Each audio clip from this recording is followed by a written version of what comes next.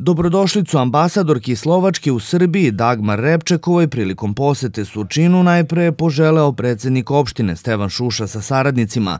Nakon prijateljskog razgovora u zgradi opštine, gošća Surčina je sa domaćinima posetila Evangelističku crkvu u Boljevcima gde se susrela sa predstavnicima Slovačke zajednice iz ovog sremačkog sela. Ona je tom prilikom posetila Slovački evangelistički hram gde se u razgovoru sa meštanima upoznala sa životom i običajima Slovaka iz ovog dela Srbije.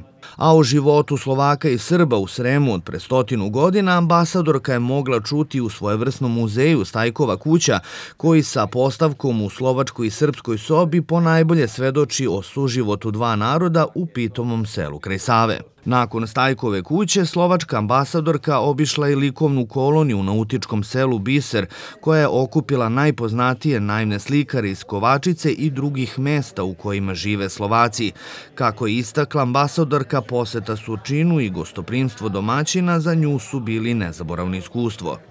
Za mene ovo bilo nešto divno, čudno, prekrasno i ja sam, ne čekala sam da vidim Slovačku u Surčinu. Pričali smo o svima stvarima Surčina, ne samo o Slovacima, pričali smo o industriji, o, o, o, o, o tome što treba da se, se radi pročišćenje vodi, da se radi nove firme koje dolazi, dolaze kod Surčin.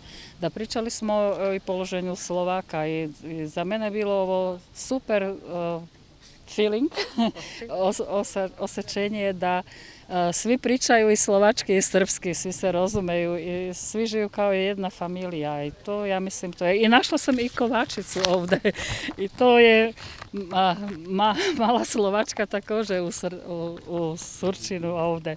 Za Slovaki u Sučinu poseta ambasadorke je velika čast, istakao je starešina Evangelističke crkve u Boljevcima. Svakako da je to i jedna dobra prilika da kontaktiramo preko nje i sa samom Slovačkom, sa samom našom državom e, ispod Tatrije e, i ovaj, da razvijemo neku saradnju svakako i sa njima tamo, mada smo mi pre nekoliko godina bili u tim krajevima i e, nije nam to nešto novo.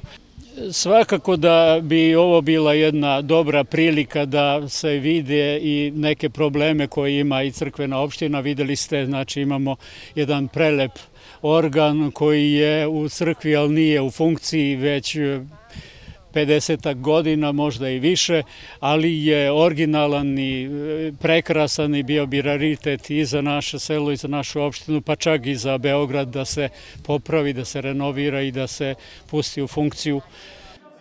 Za manje od sedam dana opštinu Surčin su posetili ambasador Hrvatske i ambasadorka Slovačke.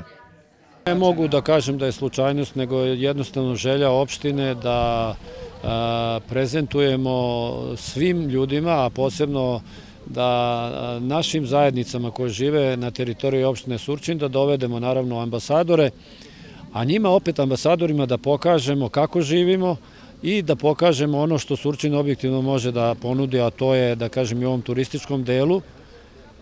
Moram naravno da izrazim i zahvalnost i ambasadorki njenoj ekscelenciji Dagmar Rupčekovoj što je našla vremena da dođe. Malo nam se, kažem, i poklopilo da imamo i slikarsku koloniju, da imamo boćinsko kulturno leto, pa smo sve to uklopili, a opet želeli smo da pokažemo kako zajedno žive evo na ovim prostorima, posebno u Boljevcima i Srbiji i Slovaci. I naravno imali smo i neke e, razgovore po pitanju privrednih aktivnosti koje bi mogli i koje su još uvek neiskorišćene, moramo da znamo da je Slovačka već dugo, dugo u Evropskoj uniji, da ima pristup fondovima, da, da smo mi tu negde možda na pragu i da naravno pokušavamo već i u ovoj fazi negde gde oni mogu da nam pomognu, da nam pomognu, naravno sigurno da imaju i dosta razloga upravo zbog slovačke zajednice koja je ovde u Boljevcima najbrojnija.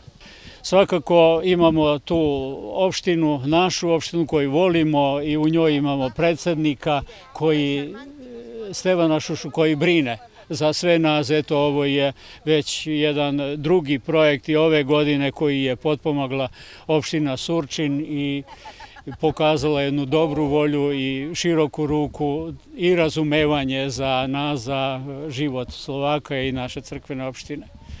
Opet moramo i da se pohvalimo sa Slovacima, našim sugrađanima koji su vrlo uspošni u oblastima kojim radimo.